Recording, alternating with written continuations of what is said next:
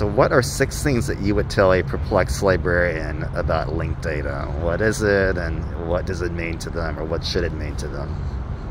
Well, I think the, the place I would start is that linked data is for everyone.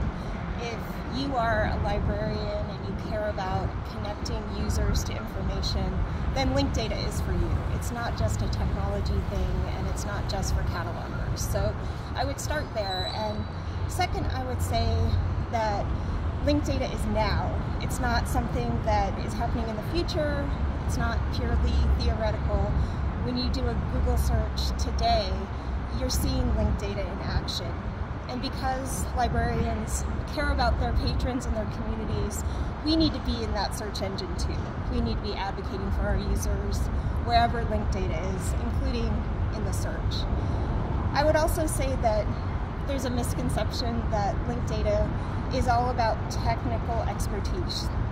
And I would say that the technology is part of all of our jobs as librarians, but linked data is not so much about the technology and more about the fact that it reveals and expresses relationships between things and it creates context for our searchers. And so linked data is less about technology and more about relationships and expressing those for people doing research. I would also say that linked data can be fun. In our book, we talk about a work of art uh, the Parliament album, Mothership Connection. And if you have any favorite work of art, you can take the principles we applied to that album and apply them to the work of art that you love best. And through that example and that case study, we talk about the linked data relationships that are exposed when we create triples out of one item in our libraries.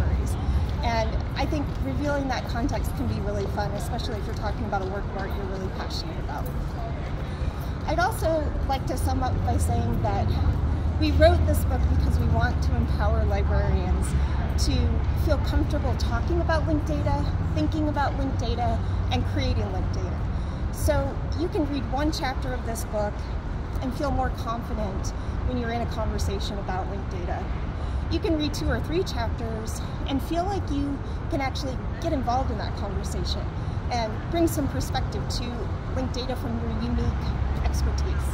And by reading all the way through the book, we end with a lot of practical examples of things you can do right now, starting a study group in your library or working with a set of data that you already have available and turning it into triples.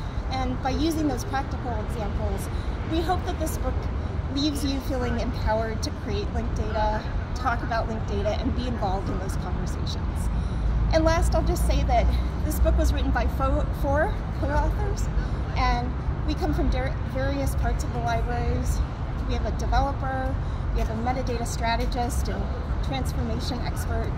We have someone working on metadata policy, and I work as a manager and administrator.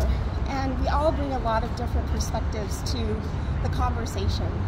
And I think this book has something for everyone, and I really hope that you can go from being perplexed to feeling more perceptive about linked data by looking at this book.